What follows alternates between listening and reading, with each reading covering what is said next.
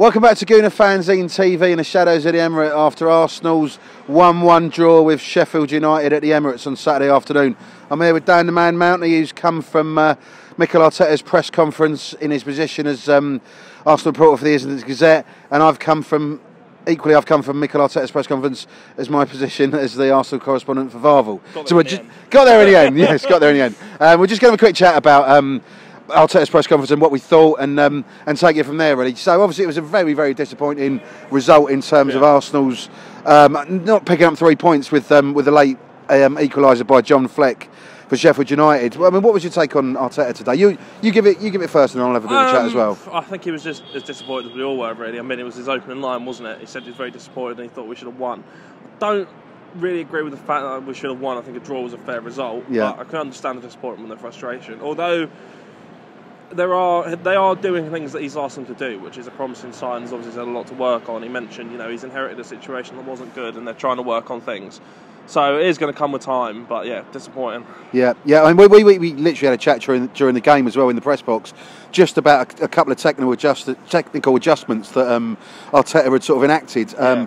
particularly for me with um, Granit Xhaka dropping back into the back line um, to sort of cover for David Luiz when he went forward. It, for me, when, you have a discussion about it and, during the game, and it looked like he was playing a, a back five at one stage to sort of Yeah, mirror weird, Sheffield United. yeah. But he obviously wasn't. But at the same time, the fact he was telling Xhaka to drop really deep so Luiz could go forward, that, that was a really good um, little adjustment there, I thought. What did you think about that? Uh, I think it worked in a way that helped Arsenal get out from the back and get forward, but I think they lost control of the game because of it. I Do you think, that's- really? Yeah, I think that's probably part of the reason why they conceded an equaliser. really? Yeah, I just think they didn't. They could have had more control of the game. I mean, it's been one of the big criticisms under Arteta is that in second second half of games so far under, and they've lost control of games. They did it again today. I thought. And when you're in that, in that situation, you wanted up. You need to see more of the ball, basically, control it. I don't think they did, and I think that's probably because they were a man short in the field basically. But wasn't it aping what um, Sheffield United do effectively with um, Chris Wilder, where players switch positions? It's almost Yeah. a, a sort of poor man's um, total football, really, where, where players are more fluid in a more fluid tactical formation. I, I really like that because the, prior to that, with, certainly under Emery, towards the end, they, they were really rigid, really stiff, not thinking for themselves. I, I thought it was quite good that he'd done that. But what, what did you take on that? Well, Just out of yeah, but un, under Chris Wilder, they start they start out with three centre backs, so you don't lose a man in midfield. They do, but they also have two wide, wide wing backs who, who slot as a straight back five. I think. I don't think it's a three at the back. yeah, I think it's a what five. I'm saying. That, yeah, that's what I'm saying. They have three centre backs. They don't have to drop a man from midfield into defence to make the five to then lose control in the middle of the park. But why do their midfield look so much more like, like they've got more numbers then, basically? Because it's quite strange, isn't I, it? I- I can't I can't explain that. Yeah, I can't. yeah, Um, I, yeah. I think it probably is the way that the fullbacks sometimes go narrow and you know kind of block things in the middle,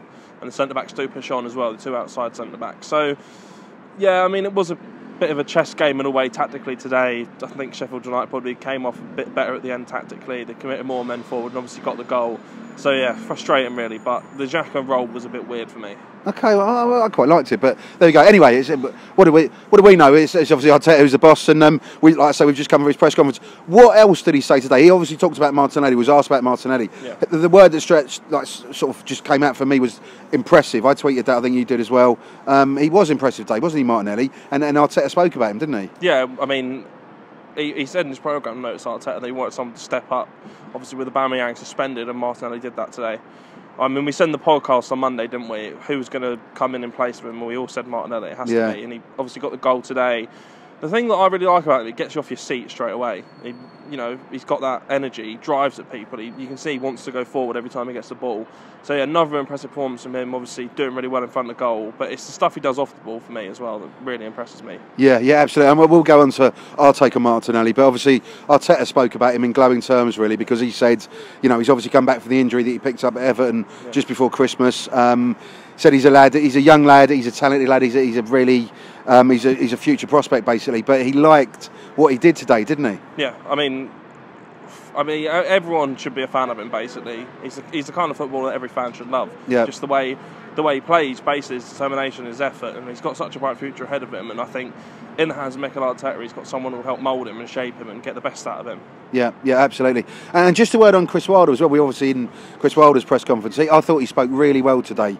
Um, his, his, his, team were really well organised as ever because they obviously were in the in the one 0 defeat of Arsenal back in October. But uh, he just really impressed me today. What, what I did think was slightly disingenuous was when he asked he was asked about the Pepe foul in the second half, and he Yeah. basically did a Wenger. He said he didn't see it. What was your take on the on the Pepe foul?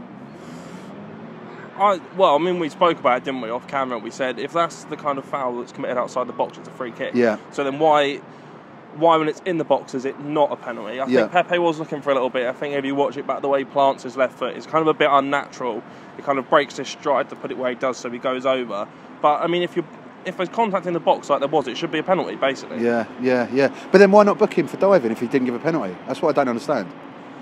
Well, I don't know. It was one really weird for me. I think it should have been a penalty, basically. So Yeah, yeah, yeah, it was a very strange one. That. What else did Arteta say? We've obviously just come from his press conference. I can't. He didn't say too much, was it? It was a bit underwhelming, wasn't it? Yeah, I mean, I think it was just his frustration really shining through. Don't, don't think he wanted to say much particularly. Uh, Yeah. there was the bit on Reiss Nelson, which sounds a bit concerning as well, wasn't there, about his injury? Yeah, yeah, yeah, Yeah. yeah. I mean, we, we, I was in um, Arteta's press conference this week at London Colney, and he, he spoke um, in, in big depth about, in depth about um, Reiss Nelson, basically, basically saying he was a talent, but he had to work harder, he had to apply himself Mm-hmm. Yeah. more.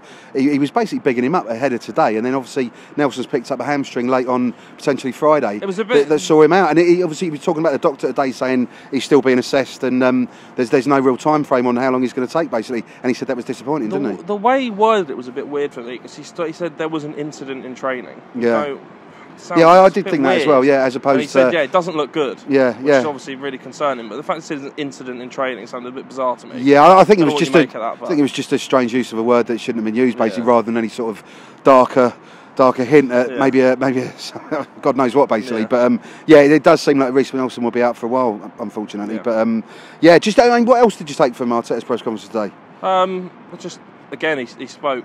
Obviously, didn't say as much as he normally does, but he speaks clearly, and you know what he's saying, basically, which is good to Which hear. Which is a change of memory, isn't it? Really? Well, obviously, yeah. I mean, we've said that time and time again, haven't Yeah. we? But it's good to good to have a decent communicator, which obviously, hopefully, comes across well in the dressing room as well as in the press conference. Yeah, yeah, and he was asked briefly about Chelsea in the in the, in the public press conference um, ahead of the embargo stuff, basically, and he, he just it's a big game for Arsenal, isn't it, on Tuesday? Yeah, massive, massive. I mean, we were looking at it before kick-off saying you beat Sheffield United today and you're within one point of them, and then hopefully Chelsea lose at Newcastle. That's going on at the moment. Don't know what's happening, yeah. but.